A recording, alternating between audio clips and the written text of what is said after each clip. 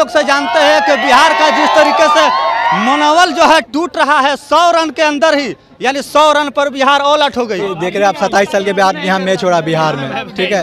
और धीरे धीरे बिहार में सुधार होगा बिहार क्रिकेट में भी सुधार होगा। से बाहर आएगा उसके बाद बिहार विकसित करेगा और केंद्र सरकार राज्य सरकार दोनों इस पर ध्यान दे। देखिए, बताते चले आपको कि मुंबई और बिहार के बीच जो रणजी मुकाबला चल रहा है, उसमें मुंबई की पहली पारी में दो सौ इक्यावन पर मुंबई ऑल आउट हो जाती है और बिहार जो है सौ रन की आंकड़ा छू करके आज बिहार भी ऑल आउट हो गई और बिहार जो है फॉलन खेलने उतरी, यानी दूसरी पारी बिहार की चल रही है। आपको बताते चले, यहाँ पर तमाम दर्शक लोग भी यहाँ पर मौजूद है, आप देख सकते हैं, तमाम दर्शक जो है यहाँ पे खिलाड़ियों का मनोबल बढ़ाने के लिए आए हुए हैं। इन लोग से जानते हैं कि बिहार का जिस तरीके से मनोबल जो है टूट रहा है, सौ रन के अंदर ही, यानी सौ रन पर बिहार ऑल आउट हो गई। कैसे सामना करेगी महाराष्ट्र, मुंबई का? अच्छी खेलेगी तो जीत जाएगी। और अभी भी उम्मीद है जीतने का अभी भी अभी वो आखिरी हो उम्मीद सकती है। सेकंड पारी दूसरा पारी अभी बाकी है। हालाँकि बिहार सौ पे ऑल आउट हो गई है फॉलन खेल रहा अभी अभी एक सौ इक्यावन रन का आंकड़ा छूएगा तब बराबरी पाएगी जी जी देखिए अभी अभी तीसरा दिन चल रहा है अभी समय बाकी है दो दिन और बाकी है। इसके बाद। कल ही भर अगर बिहार दूसरी पारी में अच्छी खेलती है। है? जी। कल लास्ट डे है। हाँ, जी हाँ। तो क्या कहिएगा इस तरीके से अगर बिहार के तो खिलाड़ी खेलते रहेंगे तो क्या लगता है? रणजी ट्रॉफी भविष्य में जीतेंगे कि नहीं जीतेंगे? देखिए बिहार अभी देखिए देख रहे आप सत्ताईस साल के बाद यहाँ मैच रहा बिहार में। ठीक है? और धीरे धीरे बिहार में सुधार होगा बिहार क्रिकेट में भी सुधार होगा। हमारे प्लेयर अच्छा कै- कैसे सुधार होगा? जब जब बीसीए जब बीसीए भ्रष्टाचार का भेंट चढ़ेगा जब बीसीए भ्रष्टाचार का भेंट चढ़ेगा तो कैसे अच्छे अच्छे खिलाड़ी यहाँ पर आएँगे बताइए।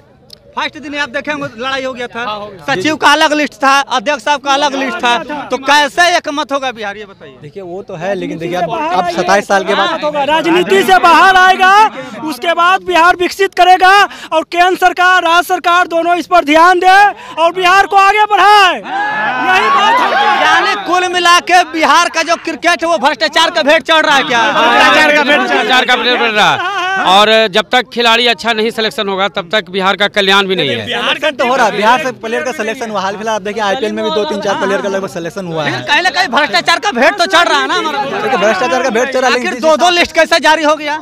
सचिव साहब का अलग अध्यक्ष साहब का अलग। अलग जगह सब पैसा का पैरवी है। एक प्लेयर भी बिहार का अपने परफॉर्मेंस में नहीं खेल रहा है। नहीं खेल रहा। सब घुस है। सब घुस है। मतलब हर जगह हर घर जगह घुस है। जब तक बिहार में प्लेयर अच्छा नहीं खेलेगा घूस है तब ना दो टीम है। घूस है तब दो टीम तो नहीं तो एक ही टीम होना चाहिए ना बिहार में। ऐसा ऐसा ऐसा कभी सुने थे? नहीं। कभी सुने थे? बिहार में ही ऐसा है ठीक है? घूस दीजिए टीम में सिलेक्शन लीजिए। देख रहे हैं सौ रन ये पर टीम सौ रन पे ऑल आउट हो गया। सौ रन पे all out। सौ रन पे ऑल क्या आउट कहिएगा बिहार के खिलाड़ियों को क्या कहिएगा? खिलाड़ियों क्या कहेंगे? अच्छा, ये जो, जो, रहा। अच्छ- जो अच्छा खिलाड़ी है ना उसको मौका ही नहीं मिलता उसके पास पैसा नहीं है। अच्छा। और जिसके पास पैसा अच्छा नहीं उसके पास पैसा खेल रहा है आके देख ही रहे हैं। चलिए तो साफ़ तौर पे लोगों का कहना है कि जिसके पास परफॉर्मेंस है उसको नहीं खिलाया जाता क्योंकि उसके पास पैसा नहीं है। और जिसके पास पैसा है उसका परफॉर्मेंस देखिए कि सौ रन पर बिहार जो है ऑल आउट हो जाती है। यानी मुंबई के सामने जो है बिहार जो है फिसड्डी साबित हुआ नज़र आ रहा है क्योंकि अभी डेढ़ सौ रन और मारेंगे तब जाके बराबरी होगा। यानी कि बिहार जो है फॉलन खेल रहा है। ये मैच कौन जीतेगा कौन हारेगा आने वाले वक्त में आपको बताएँगे। आज तीसरा दिन चल रहा है। आपको पता चला आज तीसरा दिन है। तो इस पर आप क्या सोचते हैं? आपकी क्या प्रतिक्रिया है? कमेंट में जवाब जोड़ दीजिएगा। तब तक के लिए बहुत बहुत धन्यवाद।